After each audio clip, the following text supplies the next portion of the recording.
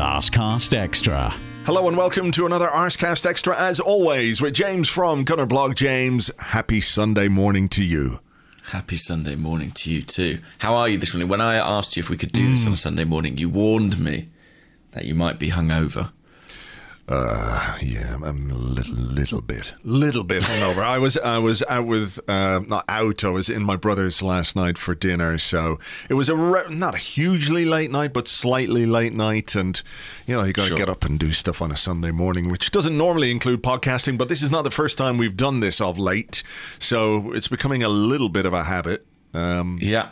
But yeah. there you and go. so, how did you start your morning? Did you put um, three lines? It's coming home on your MP3 player. Put your England shirt on and dance around the room excitedly. I, I bet you can't wait for this evening. That's exactly what I did. Apart from also doing the blog, going out for a walk with Lana, meeting somebody who said, Hey, are you Andrew? And I said, Yes. You go, I'm listening to the Arsecast right now as I was going down the road, which was quite Spooky. strange. His name was Josh. So hello, Josh, if you're listening to this. I hope I hope Josh isn't listening to this as I come around the corner with the dog again and he'll be like, This is fucking freaky. This is getting He's weird. actually now." listening to this at your window right Yeah. now. If you peer outside, there's Josh. Oh, hi, Josh. There you go. um, and that was it. No, so I, I came home. I haven't really done the um, the three lines thing, the coming home thing, the England shirt thing. Not really. Not really my scene, of course, but it is certainly yours. How are you feeling this morning? It's Sunday. Just to explain to people what's going on, we're because of your schedule and things and bits and pieces. We're recording this on the Sunday morning.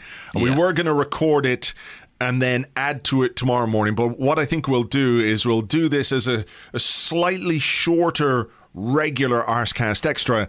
And then tomorrow morning we will record an extra Arsecast Extra to talk about the, the game because obviously that is a huge thing for you and for many of our, our listeners. So, you know, as a as an England fan, how are you feeling at 10:06 a.m.? Are the nerves beginning to kick in? The butterflies are they? What do butterflies do? Butterflying around your your Flapping. fluttering, They're fluttering. Uh, f- yeah, flapping. No, Oh, don't like you that. don't like that, do no, you? no. no. But fluttering. Are they? Are they fluttering in your in your stomach? A little bit. Yeah, I mean, you know, it's not quite the same, I think, as if it were Arsenal in a major final, but nevertheless, Hmm. you can't help but be aware of kind of the significance of the moment. And I will be at Wembley later, which I'm Oh, boy. very fortuitous to say. Um, I, I took a gamble and bought a ticket before they played Germany. And so the knockout rounds since then, uh, Germany, Ukraine, and Denmark have had the kind of extra. Um, you know, adrenaline of Yeah, yeah. have I actually am I actually going to be out the final, which I am. So that's very, very, very exciting. I've never been to a, a tournament, international tournament final of any description. That's cool. Um, and to to be there at Wembley Mm. to watch England play a really good, seemingly Italy team, um, promises to be a hell of an occasion. I mean, I was there for the semi against uh, Denmark, and Yeah. it was a pretty extraordinary uh, atmosphere. Uh, almost, I'm not sure I've ever experienced anything quite like it because it was so partisan. And although there were a lot of Denmark fans there, you know, so it was still heavily weighted towards the England team. It was just uh, really amazing. How atmosphere. much? How much of this atmosphere do you think is, um, in part due to what everybody has been through in the last sort of eighteen months or so, in terms Yeah. of, um, you know, lockdowns and restrictions and life not being what we thought it was, and a year of football without any fans, and now it feels like something that is uh, approaching normality. That must be playing a big part. Obviously, look, England, who have over the years, you could say under underperformed or fallen short or just not been good enough to sort of live up to the expectations that uh, that that are built up before every major tournament that England are in. There is this there is this thing where it's gonna this is gonna be our year, this is gonna be the tournament, and you know it doesn't happen. So that coupled with um, you know the the sort of release valve, if you like, it must be feeding into the or one thing feeding the other, I guess. I think the lockdown is a huge contributing factor. I mean, for most people, myself included, this is really the first kind of mass big event anyone has attended mm. in you know well over a year at this point. point and you can see that there's a real uh, willingness to kind of embrace uh, the, the the atmosphere and embrace the camaraderie um, I think you know some of that is probably at the cost of sort of social distancing measures, which you know will have its own effects. But I do think people are just so elated to be at a football match, and it feel like they remember football being. And I, I wonder how mm. much that will bleed into next season. You know, if when we get back into the Emirates Stadium and there's more than a handful of supporters in there, or more than a very limited percentage will we see that kind of atmosphere replicated? I I think maybe we will, certainly in the early months of the season, because there's such enormous relief and such excitement at being part of something that big again. Just being part of a crowd, you know, is yeah. such a thrill, and you forget how much it, how good it feels to kind of subsume yourself into this bigger entity. Yeah, uh, is it a bit like join in? Yeah, is it a bit like? Um, not that you take something for granted, but when something is normal, you know, and then it's taken away, when you get it back, it's like, oh God, I really love this, you know? Yeah, absolutely. And there's a real. I could, you know, with every goal that England have scored in this tournament and the celebrations that have followed and the, that have followed the full time whistle, mm you've sensed a real kind of catharsis too of people's pain and frustration that's nothing to do with football but to do with all the other things we've experienced in the last year or so mm. it kind of pours out of them and i think there's a real determination to kind of savor this experience um, and, and the thing is that's really interesting is obviously football is so tribal um, always has been always will be but the success of this England team in this country, at least, is kind of bringing people together somewhat inevitably. And you know, when sixty thousand people poured out of Wembley the, the other night, or will do tonight, rather at mm. eleven o'clock, whatever it is, they'll be, for better or worse, kind of on the same team. And I think after everything people have been through, there is a mm.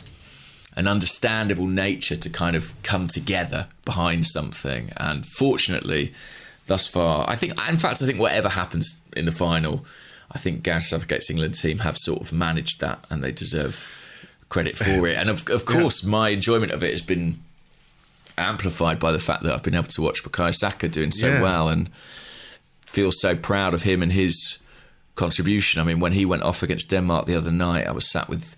Uh, Spurs fans, Chelsea fans, a Derby County fan, and you know they all stood up mm to, to applaud Saka yeah, from yeah. the field, and there was a kind of universal commendation of wow, this guy is doing something really special. And as mm. an Arsenal supporter, you know, sort of uh, your heart skips a beat in those moments because there's a you feel really, really proud of what he's managed to do. Yeah, it's great for him. I, I, I, really feel happy for him. Of course, as a as a player and a person, it's brilliant for him to go on and, and represent England. I did like how you say when people come out of Wembley tonight at eleven o'clock.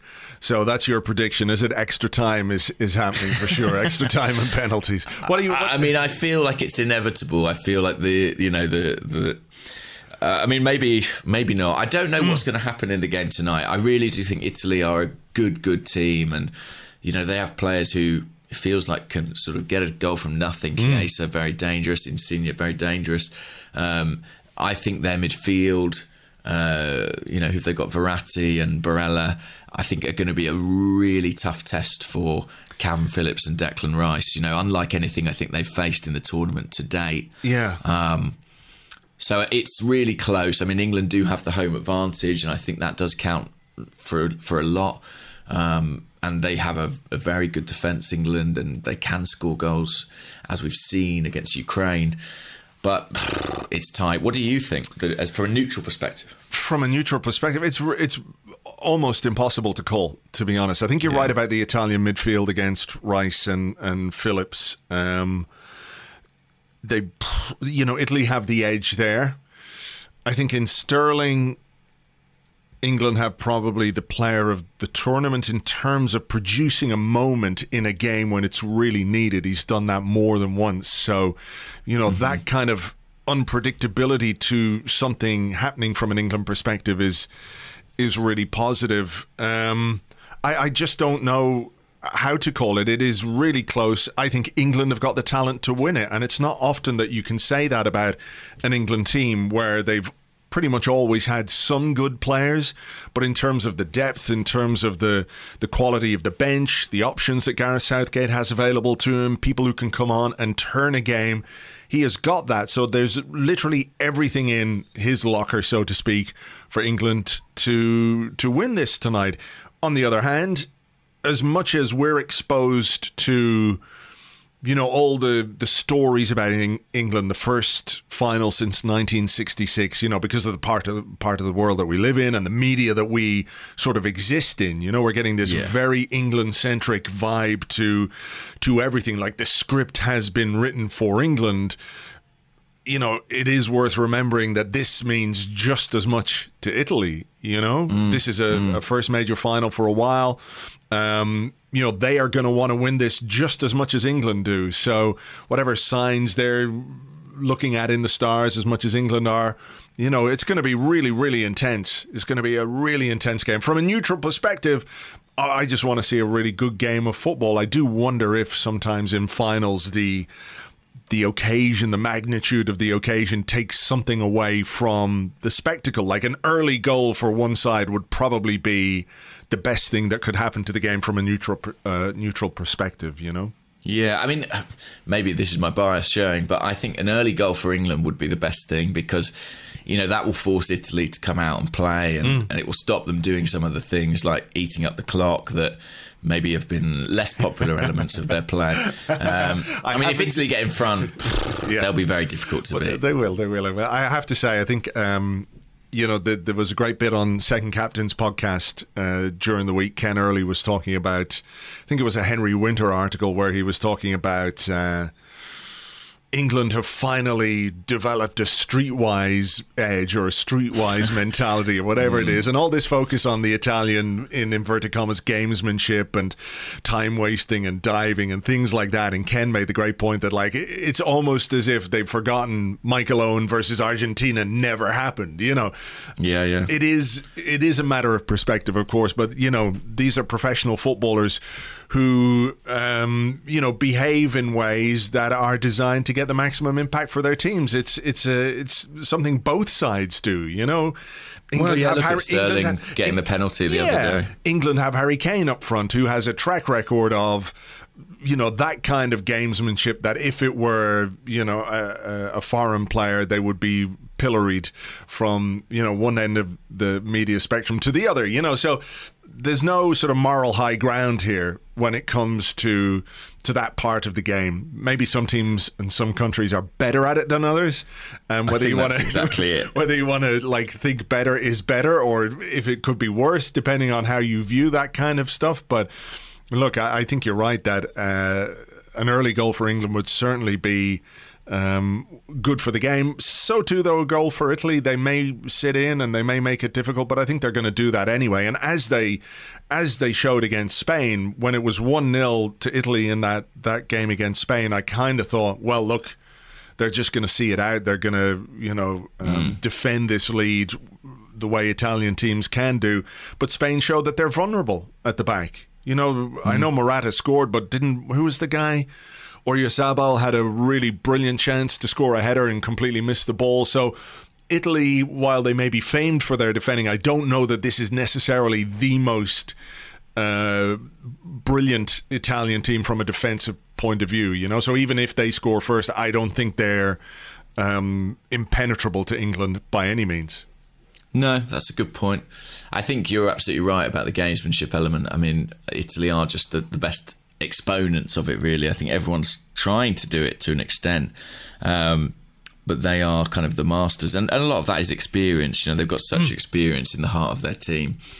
But yeah, I think it's the right final for the tournament. I think Italy have been the best team over the course of the tournament that I've seen, and I think England, you know, uh, maybe the second best, and I think they bring mm. a lot to it in terms of it being at Wembley as well. So it's a terrific final. Um, and let's see. Yeah, let's see what happens. I, I, I daren't make a prediction. I really don't know. It. Like you say, it's no. very close to cool.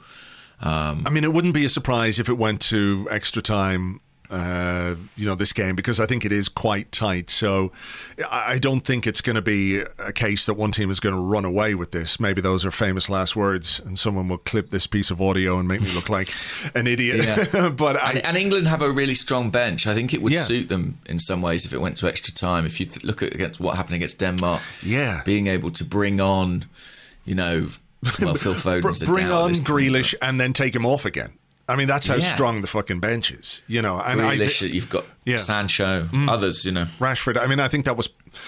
I know what Denmark were trying to do, but I think they made a mistake in terms of how soon they made some of their subs. And England, I think, made one sub in the 90 that's minutes. And, you know, Denmark wanted to add some fresh legs and what have you, but, uh, you know, it, it didn't really help. So, look, it is going to be a, a fascinating game uh, later on. And, look, we'll, we'll talk about it more in the morning. In the meantime, let's talk a bit of Arsenal. And we have made our first signing of the summer. Uh, Nuno Tavares has come in from Benfica, a backup left back to Kieran Tierney.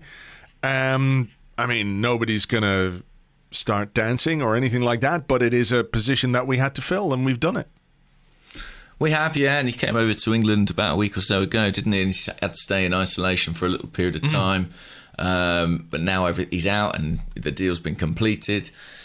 I, I think it's a really good one. I mean, it's a position that I was worried about. You know, what are they going to do? It's not an easy slot to fill. Um, and they found someone who, in terms of profile at least, fits the bill perfectly. A young, athletic left back who's capable of replicating the kind of driving runs Kieran Tierney makes into the final third. He's got the stamina, he's got the speed. Um, he's a tall guy as well. You know, competes for a lot of aerial duels. He's about six foot, I think, which that adds another dimension. Um, and crucially, he's the right age. I mean, he's you know he's he's the right age to be comfortable being an understudy to Tierney. And however the next few years go, um, we'll see what happens. But it's very hard to foresee a situation where Arsenal don't really make their money back on this guy. I mean, about eight million euros rising to ten for a promising young defender who, you know, if he does well at Arsenal, will probably force himself onto the fringes of the international setup. I mean, that seems like a very good deal. Yeah, I mean, that is one of the more encouraging things about it. I don't know a great deal about him as a player. I can't sort of pretend uh, Yeah. I've watched a lot of him and I know exactly what he is. I mean, if you want to know a bit more, we've got a podcast over on Patreon. Myself and Phil Costa, uh, Phil, who knows pretty much everything about every player in the world right now. Uh, his amazing uh, knowledge, you know, gave us a lot of characteristics. So. Uh, if you want to go listen to that, patreon.com forward slash arseblog, and that's available uh, right now for you guys. But I think the, the point, um, a couple of points. One, the, the age profile. It shows that, okay, we've done the Lichtsteiner thing, we've done the Sokratis thing, we've done the Willian thing, we've, you know, we have tried in the past to find these backup players who, you know, I can see some logic in the in the the thinking, right? You bring in somebody who's experienced, they can add something to the dressing room, they can, you know, help you on the training ground, help develop young players. But I don't think that over the the last few years those signings have really contributed anything genuinely worthwhile to us on the pitch. I'm not saying they've all been terrible. Um, you know, they've been varying degrees of, you know, performance levels, but I don't think they've done anything whatsoever to push us forward because you know uh, it's all well and good signing a backup player, but you still need to make progress as a team. And and these guys, I'm not saying they've been a hindrance, but they haven't helped. So Yeah. you know, to to do it a different way. Look, it's obvious that there's only two ways of doing it. You either go the veteran way, or you bring in a young player who can develop and you know isn't going to be uh, put out by the fact he is not playing first team football week in week out because he knows he's got Kieran Tierney ahead of him. So that that's the second way of doing it, right? And they've done it, and that is a promising sign.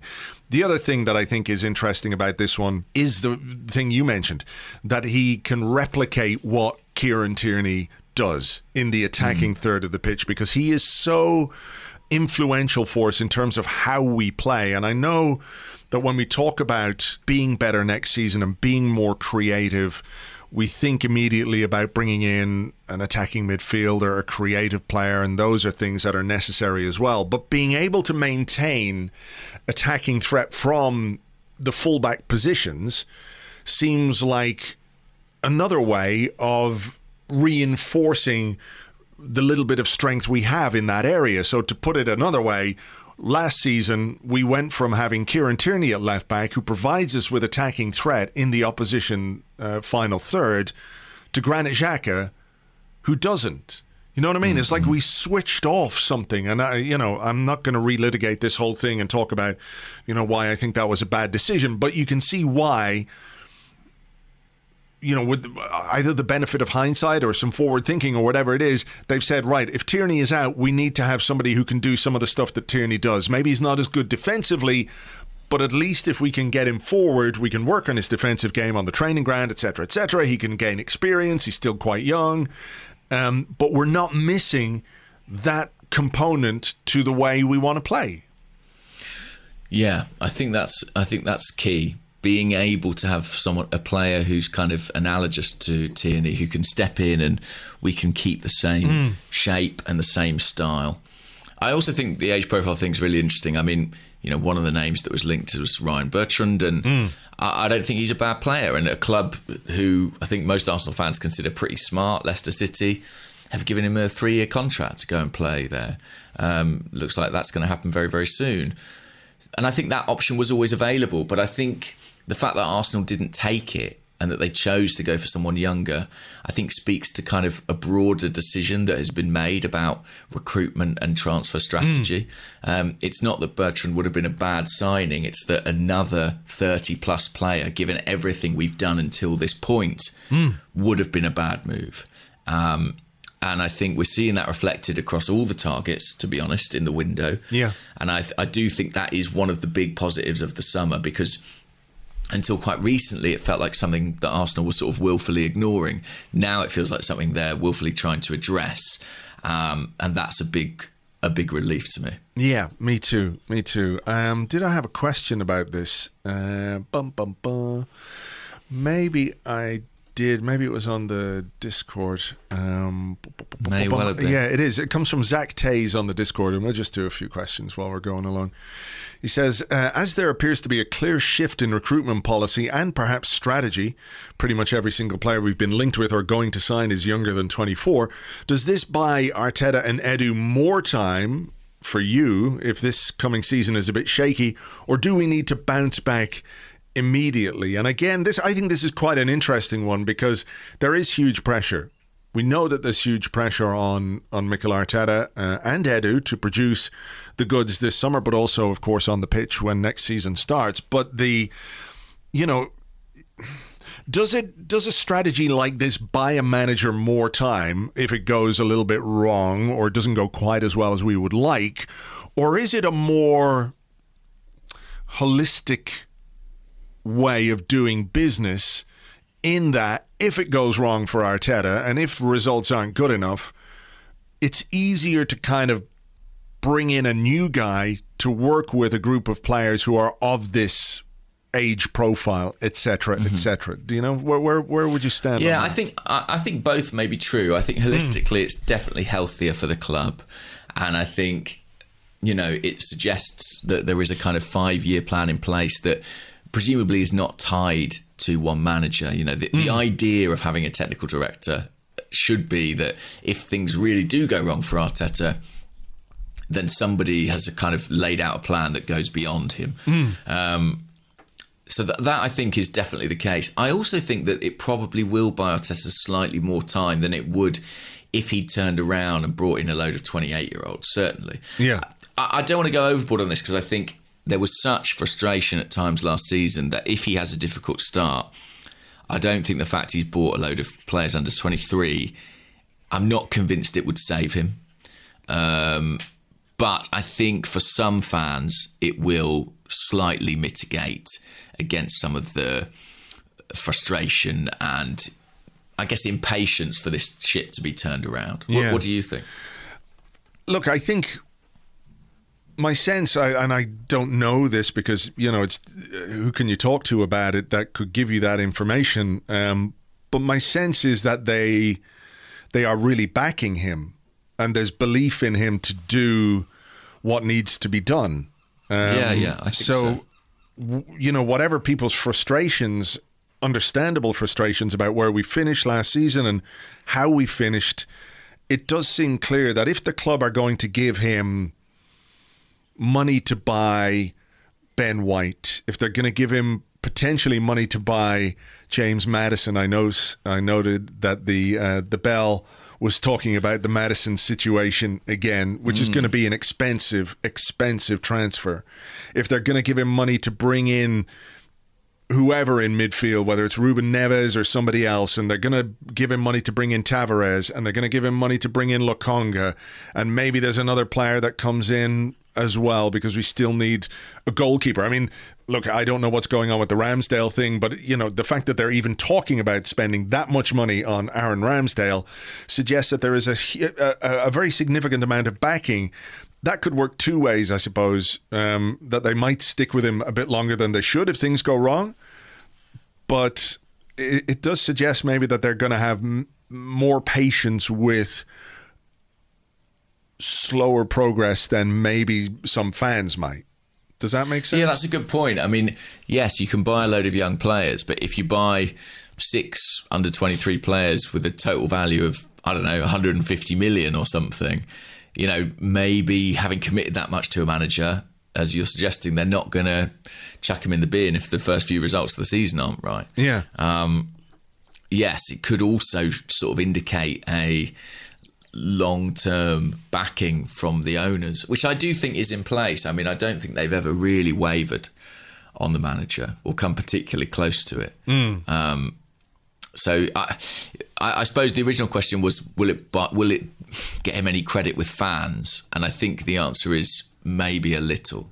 But as always, results are just absolutely yeah, king in this scenario. Exactly. I mean, look, it was a situation where you know, maybe a year, 18 months ago, we were saying, well, look, if next season is, you know, a wobble, there are reasons why, because, you know, he's a rookie manager, he's got to rebuild the squad, you know, all of that kind of stuff, all those logical reasons. Um, and people were, well, yeah, give him time, you know, you're learning. But when you're in the midst of it, it's much less easy to uh, accept uh, what what appears to be exactly. underperformance. You know what I mean? So, like you say, we can sit here and talk about how okay, this is progression, a recruitment strategy that seeks to address some of the flaws in previous ones. Actually, just having a recruitment strategy is a step forward in itself. You know, because mm. it feels like a lot of our, our work has been done um, on the fly. You know what I mean? Um, yeah. Without a lot of joined up thinking. So even that in itself we can look at that as progress, as something that's positive. This is the way that a modern football club should operate. You know, um, have a plan, have a strategy, implement it. That's great. But like, if results aren't good, nobody gives a fuck about you know how you're doing things because well maybe that's the wrong way then because results aren't good enough so ultimately it all boils down to to what we do on the pitch you know yes exactly um are we expecting anything else in the very near future. I mean, it feels to me like the Lokonga thing is yeah. is pretty much done. He's in England apparently. He's had a medical in in Belgium or the Netherlands, I think I, I, read, and he's probably doing the same thing that that Tavares did in terms of uh, isolation. Ben White now, um, well, from tomorrow, obviously is is free and easy to complete his deal. It seems like that's the that's the thing that's been holding that up. Not necessarily a problem with the deal itself, but you can't do it during a tournament when England are, are heading towards the final. You know, it just doesn't look right. So, are you expecting those two to go through? Yeah, I think there's still a little bit of a way to go on Ben White. I think um, it's it's not quite the case that the deal is done and okay. they just have to press the button. But I still think Arsenal will get their man. I mean, ultimately, they've shown real willing, both with the player and with the club, to yeah. make that deal happen at considerable expense. I, I, think, you know, it would be surprising if that didn't go through. Um, I think, definitely will in uh, due course. You know, as you say, he's started taking the medical test. He's got to do his isolation, and then the deal can be completed. And I think you know Tavares and Lokonga are quite an exciting, if uh, slightly unknown, way to start the summer. Um, you know, they're players who bring youth to the squad, bring potential certainly to the squad um, in positions and areas of considerable need. They represent I think upgrades, certainly in terms of how fans will feel about them, on people like Kolasinac and you know uh, Ceballos or Elneny, whoever's maybe going out of the midfield. Mm. So I, I think they're, I think that that's the most imminent one, Lokonga, and then I think you're right to mention White. Um, I think that's kind of where we are at the present time. I don't think there's anything else that's particularly imminent, and even the White one, I think it might run a little bit longer. Okay. Uh, in terms of outgoing, there doesn't appear to be much stirring. Obviously, now we've got three left backs in the squad. While it was Yeah. already curtains for Seg Kolasinac, I think it's uh, even more curtains uh, for him. Uh, there's no place in, in, in the squad f- for him anyway, I don't think. So he's going to go. I mean, we read stories, we were, we were chatting a little bit bit about this on, on WhatsApp about Eddie and Nketiah. And a few weeks ago, of course, we did our transfer predictions. And your valuation of Eddie and Nketiah, it's fair to say, was substantially higher than mine, um, which is fine. But what did you? I, I, and again, I don't know if this is the 100% unad, unadulterated truth, but some suggestion that Arsenal rejected a 12 million pound bid from Crystal Palace for Eddie Nketiah. Um, so, I mean, what, what, what's your take on that? Because to me, that sounds, assuming that we have some clauses or add-ons on that, that sounds like a very attractive deal to me. Twelve million pounds for Eddie and Nketiah, who Yeah, I suppose I. I mean, I, I remember I said eighteen at the hmm. time, and I, I still think. I, I suppose it's looking around at the market. I know Arsenal kind of have a special tax that applies to their sales, where it feels like we get less for our players. But uh, I, I think the, the fact that Eddie is English, and not only is he English, he's got such an extraordinary record at England under 21 level. I do think puts a bit of a premium on him, and I think attaining a fee of 15 million or so is not unrealistic. When you look at what the likes of Rian Brewster uh, moved for, um, or Dom Solanke, or whoever, I think. I mean, I mean, the biggest obstacle I think is his contract situation. well, that's I it. think I that's mean, the biggest problem. Yeah, it's, he's got a year left Yeah. on his contract, which has an impact on his value. We are in a COVID, post COVID, mid COVID world, whatever you want to say. It has had an impact on player valuations and transfer fees. Maybe not as much as people might have expected, certainly not in England anyway. But, you know, for a player um, of his age, with a year left on his contract, with. I think 12, if it was 12 plus 3, that seems pretty pretty reasonable to me. Yeah, I, I- do wonder if add-ons will be a big feature in this window. Hmm. I mean, I know they always are. The fee is usually, you know, ten plus five or whatever it might be. But I think, given the financial situation of clubs, I think there will be a, a, a, well, a desire to not put up loads of cash up front, Yeah. and to say, well, if we achieve this and that, if we stay in the Premier League over the next five years, say, then we will pay an extra X million. Um, and I imagine that the kind of clubs that are going to be looking at Eddie, I think that's going to be particularly true. Um, you, you might be right. I mean, listen, rejecting 12 doesn't mean they would reject 14. And who knows Yeah. if that's taken place. And I can't say for sure if it has or not. It may just be, you know, the opening kind of gambits in a negotiation that ends up with a deal in a not too dissimilar ballpark. Yeah. Um, it certainly does feel like his time at Arsenal's coming to an end. I mean, I don't know how much you watched the return to training uh, videos that were up on the website, but I was kind of looking around that group of players and thinking, like, I'm not sure half of you will be here when the season starts, Yeah. or certainly when the transfer window is over. Yeah, look, there's there's going to be some outward movement for sure, and we all know the names, and, and we'll have to wait and see. But yeah, look, it'll be interesting to see if Palace pursue that. Um, Palace, of course, managed now by um, Patrick Vieira, so uh, yeah, we'll wait and see. Beyond that, though, there doesn't appear to be much close in terms of sorting out the futures of, you know, uh, Torreira, Maitland Niles.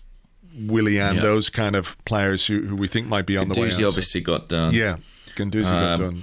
I, I thought an interesting development this week was the new contract for Okonkwo that uh, and Yeah. his promotion to the first team setup. I mean, that's um, a, a really significant milestone for him. There's been a lot of competition, I think, among young goalkeepers. They've got people like uh, Karl Hein and I think is it Dejan Iliev, and it feels like Arthur Okonkwo kind of seen off, not quite seen off, but certainly uh, leading that race to be part of the first team picture moving forward. And he's had a lot of um, problems in his development. He's missed a lot of football. So Hmm. for him to be doing that now, and he, he speaks fantastically well. I saw a brilliant interview with him on Arsenal.com. He seems like a really Yeah, yeah. smart, together, focused individual. Um, I'm really excited to see, you know, what the future might hold for him. Well, yeah, it's been a while since a homegrown goalkeeper has come through, hasn't it? And it's funny you mentioned Dejan Iliev as a young goalkeeper. He's 26. Yeah, right. Feels like he's been here for, for quite some time. But yeah, like that was an interesting development. I think they were quite specific as well when they talked about his promotion to the first Yeah. team squad.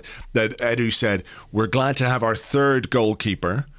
Uh, which means obviously there's a number two still on the agenda and somebody else who's who's going to come in. So we'll wait Yeah, and yeah, see what they do there. Okay, look, let's take a break. I feel like there is an elephant in the room that we haven't Sure. quite spoken about. An elephant in a in a warehouse. The elephant who doesn't who doesn't get enough toilet breaks, so the elephant has to wee in a giant elephant bottle. Sure. That sure, one. sure, sure. Let's I know exactly. Yeah. let's A Jeff Bezos elephant kind of type thing. All right, we'll take a break. We'll come back with your questions uh, right after this.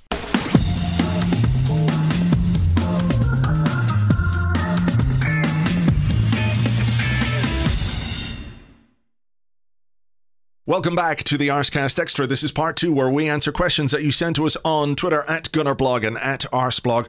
Also on the Arseblog Discord chat server, which you get access to if you are an Arseblog member on Patreon. Now, the other day, James, I was um, I was playing golf on Friday morning, and I got a text from Lewis Ambrose, which said, Oh. "All or nothing," with two crying, laughing emojis. I think, and I was like, "What? What's this? What's going on here? What's what's he talking? What's he talking about?" So I sent him back two question marks, and then he informed me that Arsenal were taking part in the next season of Amazon's All or Nothing series, a sort of fly on the wall documentary, um, which Yeah. has uh, covered Manchester City before and some other small team, supposedly in North London. Um, and uh, my game went to shit. I have to say, all the truth. I'm kidding. It had already gone to shit, so don't worry about that. Um, so, what? Uh, before I get into a couple of questions about it, what are your thoughts on our participation in this thing? Uh, I had the same sort of stomach flipping panic moment as you. Yeah. Because I think we all um, we all have a bit of a lack of trust in Arsenal, basically of late, and I think we fear that uh, there is a chance that they'll sort of be held up for ridicule if things don't go well. Um, I must say, having reflected on it a little more, I'm slightly less anxious about it. I think there are there are things that make me derive a bit of comfort. One is that, as much as I find Spurs amusing, I didn't really bother to watch the Spurs one. Well, me neither, because why the fuck would I watch a television program about Spurs? Yeah. And I think I think these things are basically watched by the fans of the club and not so much by others. like you- ultimately I couldn't tell you a funny moment from the Spurs one. Well, I the only one that I saw, and I spoke about this with, with Phil Costa on the Patreon podcast. The only Yeah. one that I saw was this clip of Sky Sports News or something like that playing in the background when Jose Mourinho was in his office, and you know it was Oh, supposedly goes and turns it off. goes and turns it off, and it's absolutely staged, completely It is 100% manufactured nonsense. And that was the only bit that I saw, and I didn't watch the Man City one either. Did you watch the Man City one? I watched bits of it when Arteta joined as research, and Right. I think that's another point that makes me a little more relaxed is that Arteta has been through this process before, and if he had hated it that much, I imagine he would have made his objection clear. Yeah, I mean, there is the the aspect to this that like nobody wants to document failure, right? So, No. how we view this is going to be incumbent on the way the season pans out. It could be a lovely companion piece to a season of improvement and perhaps some success, tangible success for Arsenal if we were, you know, to win the cup or something like that, and you know, make improvements and get into, or at least be in the conversation for the top four, get get ourselves back into Europe. You know, if we can see some progression, it could be a nice companion piece to that. The alternative, of course, is that the, the season goes poorly and things, you know, take on that kind of, um, you know, the narrative is shaped by the eventual outcome of, of the season. So there's where, where the danger is. But I suppose you could say it speaks to a measure of confidence that Mikel Arteta must have in himself to produce a season that isn't going to make him and the club look like complete twats. Do you know what I mean? Yeah, I, think that's true. I think, I, I guess part of the reason that I have some faith this will be okay. Number one, I think when it comes out, we will love it. Like, I think, however good or bad the season has gone, Arsenal fans, assuming they don't not wish to subscribe to Amazon on ethical grounds, which would be absolutely fair enough, will eat up this content because we know in our hmm. jobs that as soon as you're able to slightly lift the curtain on how things are actually working within a football club, even if it is heavily produced, people want to know that. And I, I'll be honest, like I, I'll, you know, there, there, the clips I did see of Tottenham were of conversations between Mourinho and Danny Rose, or you know, between player and manager. Hmm. And I, I'll be fascinated to Yeah, but- see some of those dynamics. Sure, but like, this is where I have an issue with it in the sense that, let's say there's a conversation between Mikel Arteta and a player over a Yeah. situation or a scenario. That conversation cannot be properly authentic hmm. if the cameras are there and they know the cameras are there. And I've seen people say, well, after a while, they just get used to the cameras and they start acting normally. But I don't believe that's really the case. You know, footballers, when they talk to each other on the pitch or when they're on the sidelines or when they're on the bench or when managers are talking, you know, they cover their mouths so nobody can nobody can lip read. You know, there, there is They're a certain, yeah. there is a certain maybe it's wrong or maybe it's old fashioned or maybe it's antiquated, but I think um, without wanting to compare football and the inner workings of a football club to the mafia, there is a certain amount of omerta within the game. You know what I mean? Like what happens in the dressing room stays in the dressing room. What happens on the training Yeah. ground stays on the training ground. So while it would be fascinating for us to see more of what goes on, I'm not sure how authentic it is going to be because a the players know the the cameras are there. The the the show itself is going to be produced in a way which I mean, why are Amazon making this? It's so they can sell more subscriptions so people can watch it. So they're going to produce a piece of entertainment. This isn't like a factual documentary. It's dealing in, you know, facts or what's going on, but it's not like this is telling the true story. So here's our scenario. You're a player, I'm Mikel Arteta, you're pissed off that you're not playing, and I'm trying to talk to you about, well, you know, you need to work hard or whatever it might be. All you're going to get is some surface level platitude stuff from both player and manager hmm. unless somebody loses their temper and they don't give a fuck about the camera anymore, you know? So while I think it's, I understand why people want to see more, while I understand people are desperate for the content, I think you need to then put it in a box and say, this is not truly authentic. This is a piece of entertainment.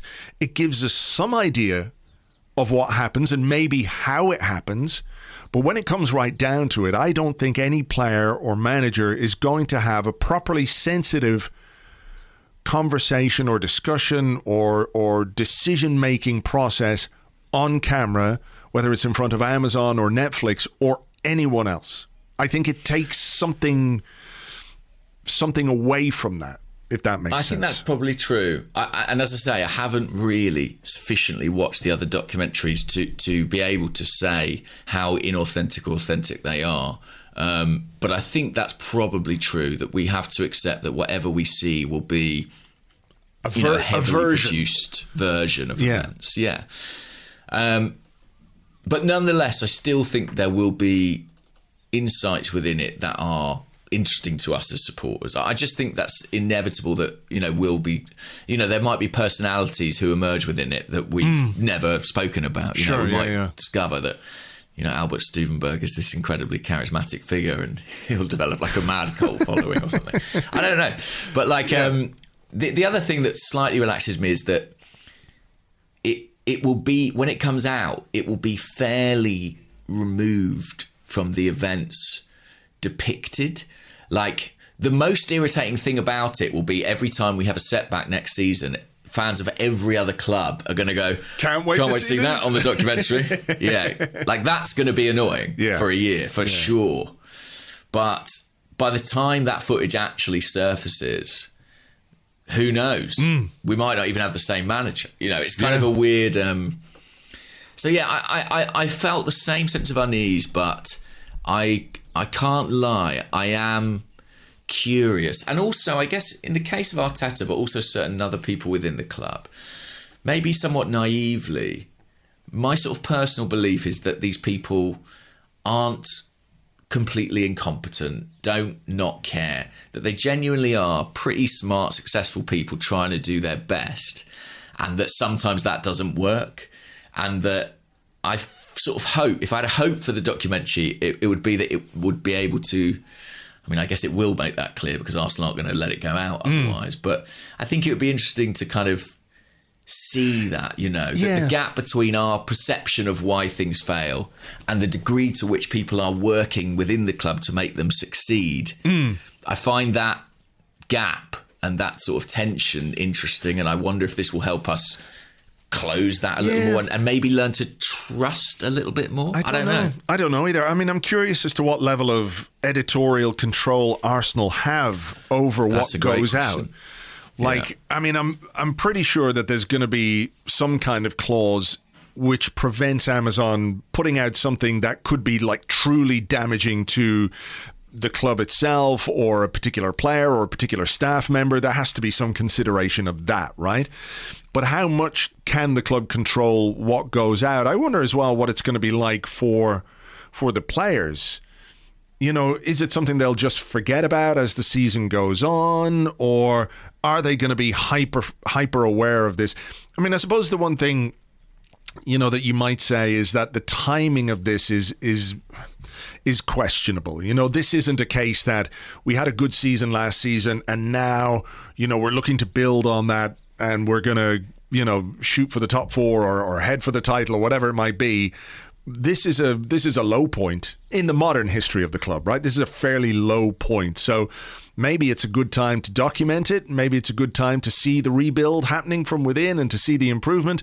On the other hand, if it doesn't work or if things don't go well next season, people can label whether it's true or not. And I don't think like having the Amazon cameras, let me be clear, I don't think having Amazon cameras there is going to be the difference between us having a good season and a bad season. But you open yourself up to accusations of a lack of focus or being distracted, etc., etc., by allowing something like this to go on in the background when you should be fully focused on the games, etc., etc. And again, like the reality is, you know, we're we've got to turn up, and when we go on the pitch, it's the ninety minutes, and they got to train hard and all that kind of stuff. It's not going to be the cameras that makes a difference, but you can understand why people might say this is a distraction that at this moment in time we're maybe a bit foolish to invite. Yeah, I mean, it's an interesting point about the the camera crew. I mean, I, I footballers probably spend a lot of their time with cameras present. You know, hmm. I was watching some clips from the England camp actually the other day, some back sort of behind the scenes stuff, and Yeah. they're surprisingly at ease with it because you know I guess they're there a lot of the time, and and these Amazon guys are going to have to be embedded within the club as much as the club's own media team. You know, for for this to work, presumably they're there traveling with the team. You know, in the dressing room, they they must become part of the sort of you know part of the furniture. Um, but I do think in a year in which the club and the manager are already going to be under significant scrutiny. And we've talked about the added pressure of no European football, Yeah. focus on the Premier League, what that might bring. This does add an, another layer and another dimension. Mm. Um, and I guess it, like you said earlier, maybe it speaks to manage the manager's confidence that he's prepared to invite that. Um, but it, you know, there is a degree of risk. I mean, the big, the big question really for me is like, why, why are Arsenal doing this? Do you think what, what is this about? Yeah, I mean, the, you have to look at it as something that, like, if you if you yeah, it has to be something that's beneficial. Yeah. So it is about the marketing. It is about putting the club out there um, on one of the biggest digital platforms in the world. Um, I mean, is it know- as simple as we're not going to be in the Champions League, so we're not going to have either that exposure or that revenue, mm. uh, or not even going to be in the Europa League, and therefore this deal brings in a few million quid. Uh, I've seen the figure 10 million 10 places, but I, mean, don't know. I mean, 10 million is 20% of Ben White. You're not doing that and you're not running the risk of of looking like an absolute car crash if things go wrong for 10 million pounds. I don't think that kind of money is sufficient to say well this is worth it. This is why this is the the sole reason why we're doing this. There has to be I guess some kind of you know behind the scenes marketing plan. Um, you know, people are hungry for content about their football clubs. That is. That's true. We're part of that. We're part of that more than most, Yeah, you know? exactly. You know, no, but it's true. You know the the the training videos, as you say, you know, which are pretty for the most part pretty dull you know what's the most Yeah. exciting thing that happens is like someone you know in the rondo does a does a nutmeg on another player and everyone goes Woo! You know they're not Exactly, yeah. hugely exciting but people love those little uh, bits and players instagram stories and the bench cam stuff and tunnel cam stuff and whatever you know people can get they they want so i understand it from that point of view i suppose the benefit might be to yeah to to to build the the brand Arsenal. I mean, we had a question here from AB That's why Gunnar. Spurs did it, certainly. Yeah, You know? AB Gunnar on the uh, Discord says, "Does the Amazon deal show that the Kroenkes will do anything to make Arsenal more popular and appealing to the newer fan, except for either investing time and/or money to improve on the pitch stuff?" And you know, this isn't to defend the Kroenkes or anything like that, but the two things are not mutually exclusive. You can do this and you can invest or not invest on on the pitch. Um, but I mean, do you envisage a a role in this for for Josh? Like, is this a way for him to demonstrate that?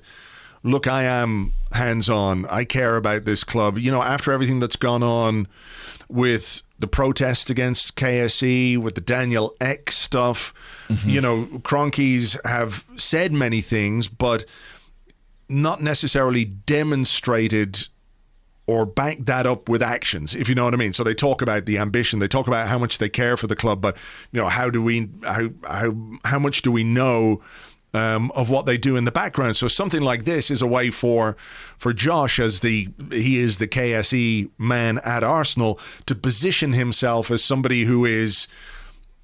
I, I don't know whether you say in charge or influential or even interested in what's going on and, and how it's going on in the background. I'd be amazed if it didn't involve him in some way. And the reason I say that is obviously pre-pandemic, he spent quite a lot of time in London. Um, during the pandemic, almost none. And we're coming into kind of a stage now where travel's going to be, hopefully, from around when the season kicks off, slightly more possible, slightly more feasible. And I think he will want to be seen to be on the ground in London um, for all the reasons that you've outlined.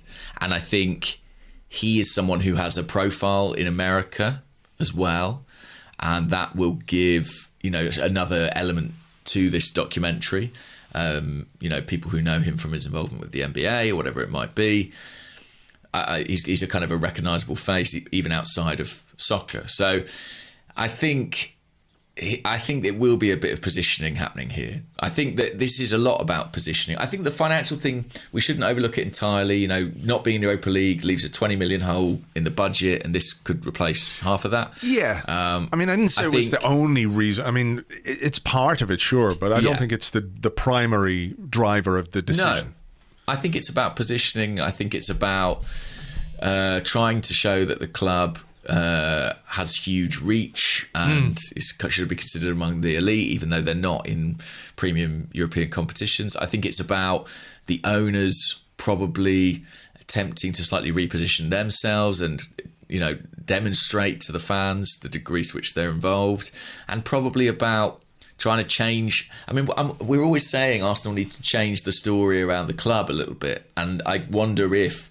literally bringing in some professionals to tell that Change story, the story, yeah, yeah. I, I- I may be better suited to doing it than people within the club. I mean, Hmm. from that point of view, I think it may make sense. And you know, if they're able to tell a kind of uh, compelling, captivating story of a club at the start of a rebuild with a generation of young talent, you know, maybe Amazon can tell that story better than anyone anyone within Arsenal, and maybe outsourcing it, um, we'll see it reach a bigger audience and also resonate slightly better. I mean, that's that I guess must be why they're doing it because I think you're right. Ten million quid, it's a lot of money, but not enough money to take that risk. And I also think when you talk about it in that way, it becomes clear that there can't really be any real risk here for Arsenal. Like they, they this cannot be the case that they let Amazon in the door and Amazon put out something they're not happy with.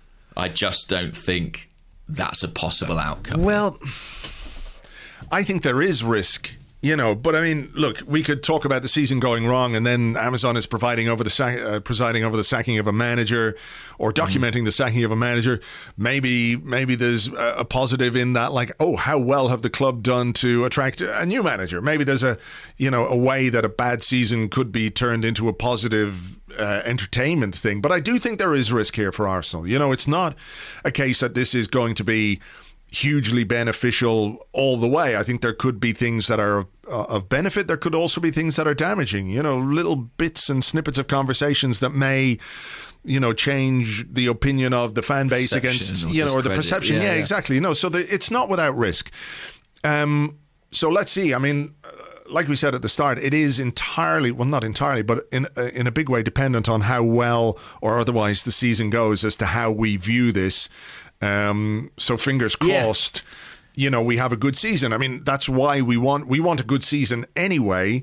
Um, and I think you're right to point out that this just does put a little bit more pressure on not necessarily the players, but certainly the club itself, the manager, the technical director, the people that they're going to be behind the scenes with, you know, whose decisions this summer are going to play into how everything goes next season, you know? Definitely, yeah. I'm interested to know when they'll they'll Yeah. start filming. Um, we had another question here, just very quickly. Let's uh, make this the last one on this.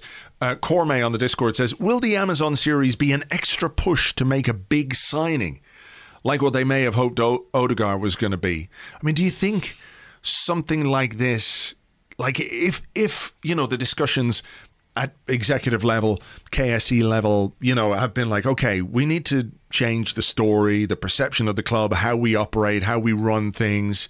You know, what's a good way to get people on board? Signings. People love signings. So if we make a fucking big marquee fuck off signing and we can show this on, you know, our Amazon documentary, that is a way of like if Josh goes, do it, Miguel. You've got my blessing to do the signing. You know, it becomes like a a kind of seminal moment in. You know, I, I'm talking about this being in their own minds, by the way, not necessarily for us, but you know, Yeah. something like that. That uh, as much as yeah, part of the artifice is putting across a a point of view or putting a, uh, across yourself to come out in the best possible light. You know what I mean? Yeah, I, I, I know what you mean, but I think I th- going to use the word holistically again. Um, it's cropped up a lot on this podcast, but I think they'll look at the window more holistically than that. I think that actually that story of we grant the manager permission to make a massive signing has already that's something the Kroenkes have already done, has already been told, and it didn't pan out too well. I mean, you think of Nicola Pepe, for example, um, and the vast expenditure on one player in that instance. I think that if they really want to change the story, the way they'll do that is by assembling a group of young, promising players. And that's not, I mean, listen, if they sign Ben White at £50 million, that is a vast amount of money. But I think that if Arsenal really do want to change the story, that's the story they should be telling about putting together uh, a group, you know, of young, hungry, um, friendly, I guess, players who like each other, who are going to be together for the next five years. Um, I think that's the route they should and may go down. What do you think? Yeah, maybe, maybe. Um, yeah, I think if if we talk about a transfer strategy, it can't be dictated to by the fact there's going to be TV cameras there for six months or eight months or whatever amount of time it might be. But I do, I do think that there are ways of.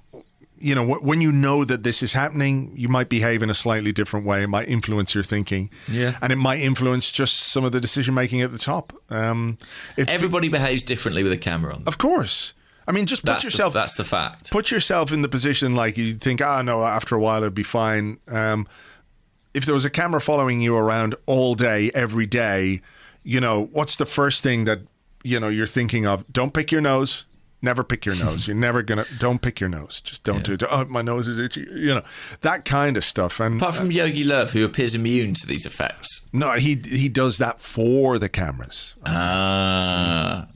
That makes sense actually. So yeah, it is. It is a case that cameras make things different. But look, we'll wait and see. Um, yeah, it's going to be interesting one way or the other, isn't it? So Very, very interesting. Very interesting. And, and like I said, it the discussion about it will kind of underscore our season. Um, I mean, uh, what we always come back to is it's all about the results and it's all about how we do, and this just amplifies that big time.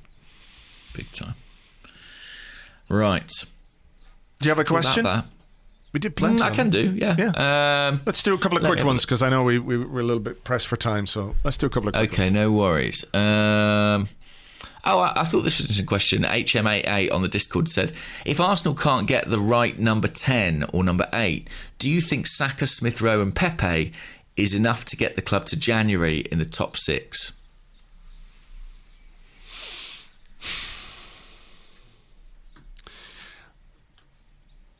It's a good. I, I, it's a good question. Um, given that Saka is going to need a few weeks off at the start of the season, What else have we got in that part of the pitch currently beyond those three in terms of cover? Willian, Nelson, both of whom Willock potentially. Willock potentially as an eight.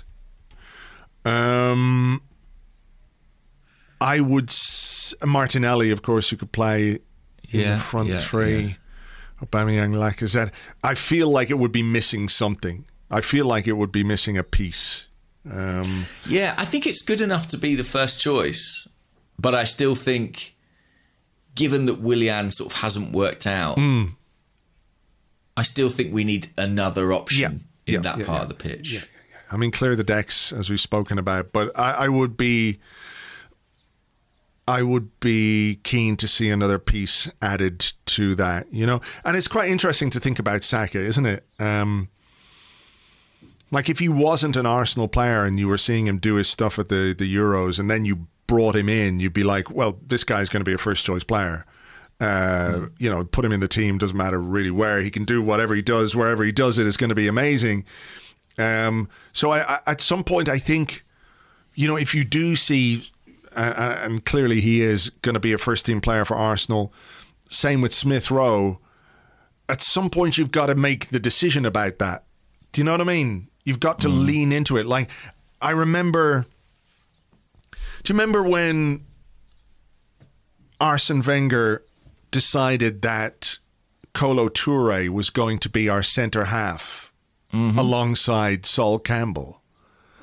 And I know that, you know, things were different then. um, in terms of how stuff was disseminated and discussed by football fans because we didn't have social media and that kind of stuff.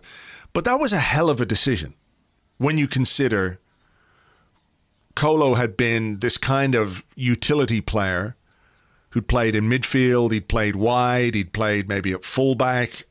I can't really remember. Maybe he played one or two games at centre half, something like he that. He barely had. He played there in pre-season. He played a game in pre-season. Was it against Rangers? Yeah, it was. And then Arsene Wenger made the decision in a summer in which I think we only signed Jens Lehmann and Gael Clichy. Gael Clichy was 16 or 17 at the time.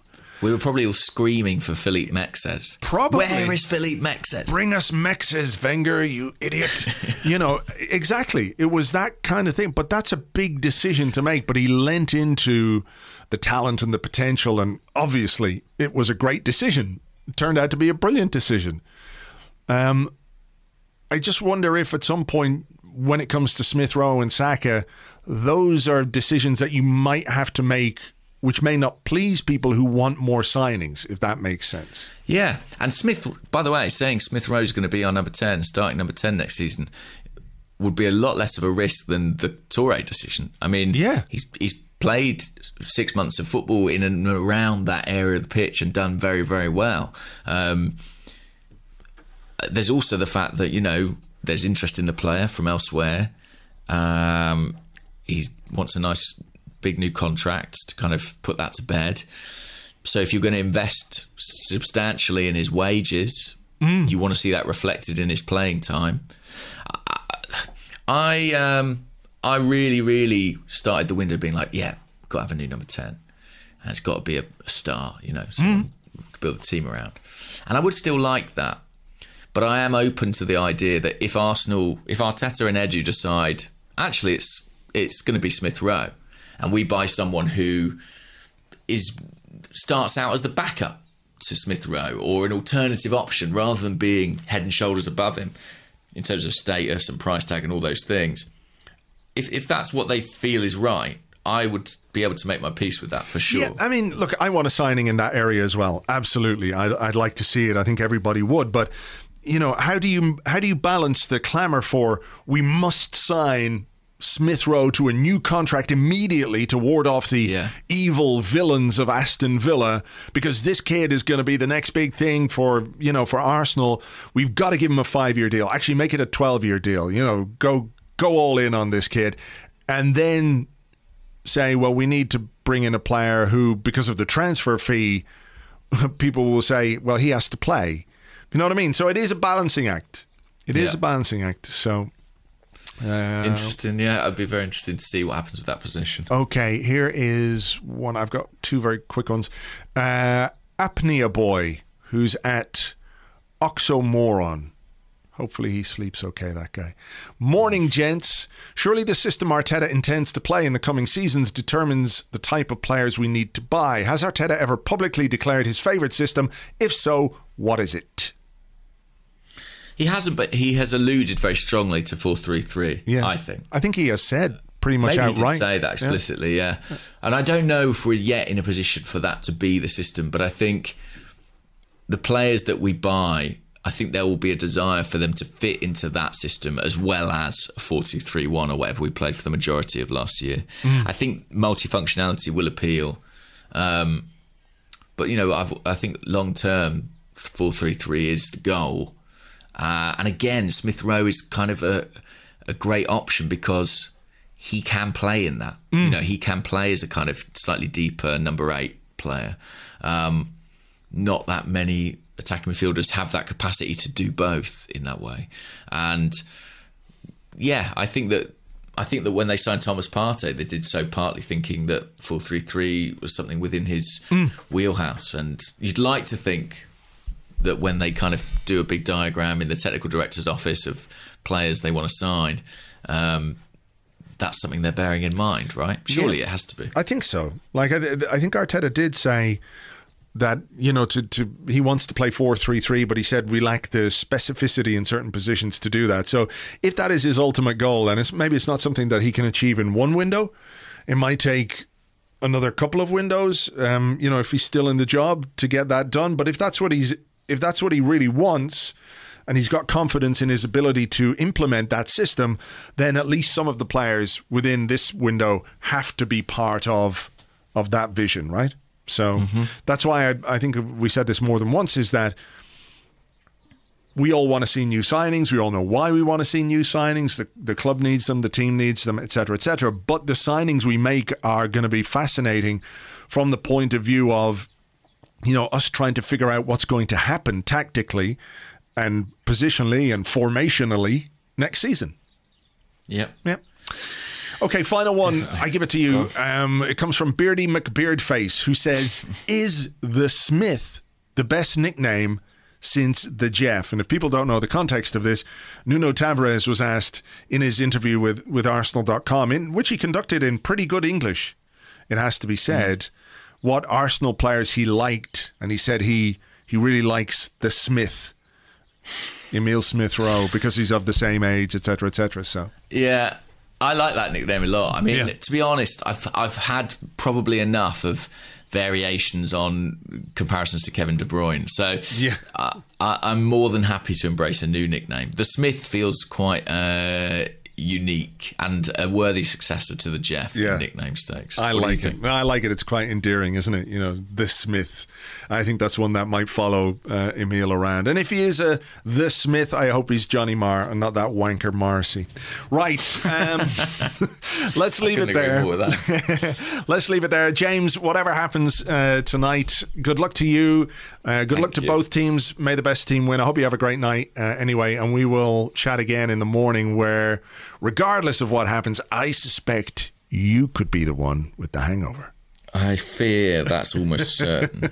but yeah, let's see how let's see how, how bad it is in the morning. All right, listen uh, to everybody. Thank you very much indeed for listening, subscribing, and all the rest.